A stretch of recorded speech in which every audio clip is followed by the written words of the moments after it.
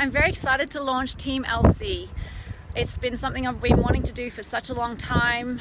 Um, I've been in the sport for so many years, uh, racing professionally for 16 and, and in the sport itself for over 20. And as a female, you know, I've become a better person uh, through triathlon, and that's what this team is all about. It's going to be an all women's triathlon team, and it's all about empowering women through triathlon.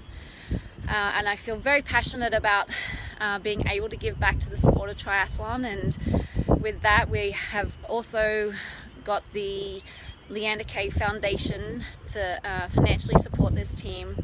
Um, and it's another way I can help uh, do my bit to give back to this sport.